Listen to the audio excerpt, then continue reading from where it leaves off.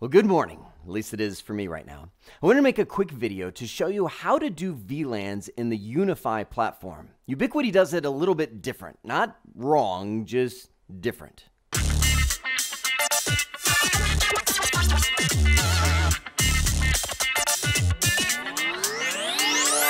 Assume for this video that you already know what VLANs are. You know concepts like tagging and untagged ports, as in you've done VLANs on other platforms, so I'm not going to spend the time explaining the whole VLAN theory. I just want to show you how to do it on Ubiquiti because it will throw you off for a little bit because, again, they approach it different.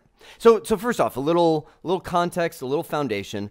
I'm going to assume most of you are used to doing VLANs on what I would call normal business grade switches. That is, you've got your your switch ports right here. You go in, you create your VLAN. Let's just say it's VLAN 10, right? And you, you say, okay, it's created. I'm now going to assign my ports. I got my computers right here. I'm going to put them in VLAN 10. You know, VLAN 10 and those will be my access ports if you're talking Cisco language, or untagged ports if you're talking a lot of the other vendors that are out there. And then, and then you'll be like, okay, I need to add another switch over here and, and add some ports to VLANs. So I'm going to make this a trunk interface if you're talking Cisco switches, or a tagged interface if you're talking a lot of other uh, vendors. And then, and then you can tag the VLANs down there. You can tag them to maybe a wireless access point where you got a couple SSIDs that are in different VLANs.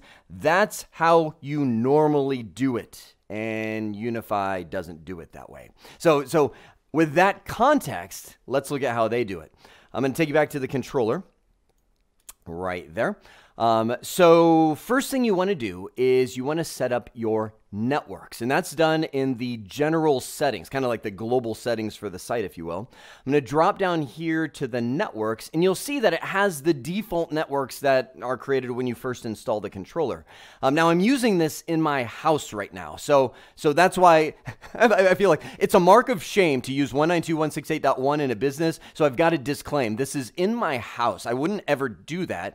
But if I wanted to add a VLAN, I just click on create a new network. Now, you'll see that UniFi tries to package this together for you, um, kind of like automate the process a little bit. So I'm going to call this one public. Let's say I'm going to add a public Wi-Fi for my neighborhood, you know, make friends, meet neighbors, free internet, right? So I'm going to say this is VLAN 10. And uh, so, so first, first, first thing different, it's like, wait a sec.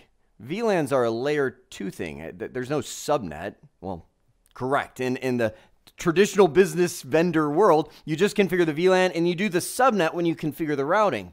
Well, Ubiquiti is like, let's squish them together into an oatmeal cream pie, right? Let's just have it done at the same time. I don't know where the oatmeal cream pie came from, but but you get the idea. So the subnet will be 10.10.10.0. Er, okay, hold the phone. It says subnet, but it doesn't mean subnet, really. It's saying, what is the gateway IP address? This threw me off for a second because I'm used to like, okay, that's the network. No, no, no. They want to configure the router at the same time because if you've got their their uh, what is it, USG, the the the uh, Ubiquiti, is it Ubiquiti Secure Gateway, uh, whatever whatever it stands for, the USG platform. It's like, hey, hey, I'll take care of all that. I'll set up the VLAN. I'll set up your routing for it. I'll set up the subnet. I'll set up DHCP. It's like kind of like a, a little mini wizard right here. I'll set up your domain name for your DHCP scope, right? Um, so I'll just call it public.local. Here's the range. We'll go 10.10.10. Let's just say 10 through 10.10.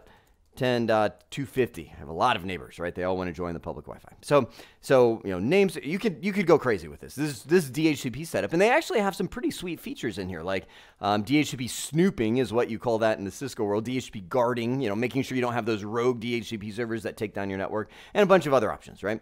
So I'll hit save, and I've just created the network. Now, this is where the traditional business configuration, you'd be like, okay, let's go to the switch ports. Nope, nope, nope.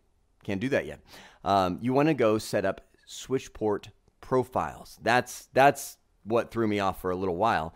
You go to the profiles, go to switch ports, and notice it's already created two profiles for you. Now you can't change those. You can't really modify those. You can just look at them.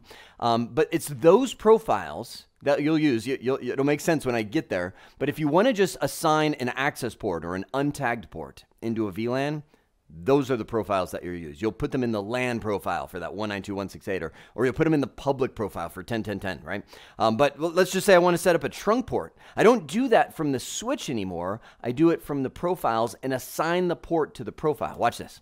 I'm going to go in and let's just say the profile name, uh, I'll call this LAN plus public right? Because I'm going to have the LAN be the native VLAN, right? And maybe maybe in the name you want to be like, you know, something like this, and maybe like this will be the tagged VLAN. Maybe you just have a scheme where you, you just know the first one will be the native, the untagged one on a, on a trunk port, right? And all the rest will be tagged, whatever you want to do. And I don't even, I'm just making up a naming scheme right now.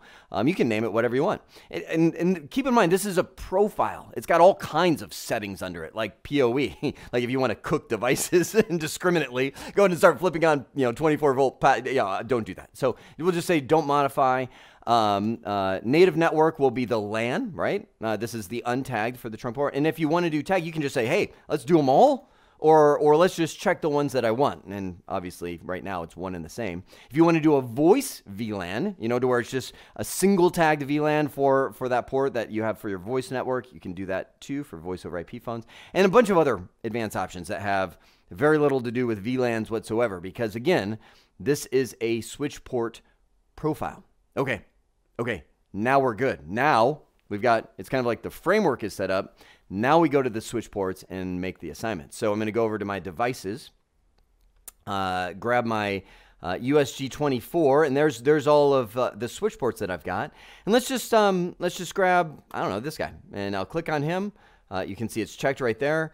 Got the little configure button. I'll hit edit, and bada bing.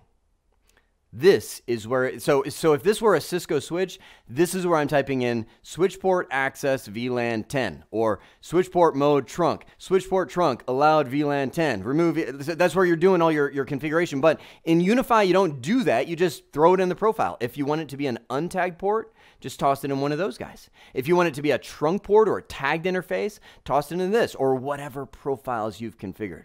And if you're like me, you're like, ah, okay, that's how you do it. That's right, right there. That just shoop, connected the synaptics of that's how the other switch vendors do it, and that's how I implemented on UniFi. Again, not wrong, just different. It's that simple.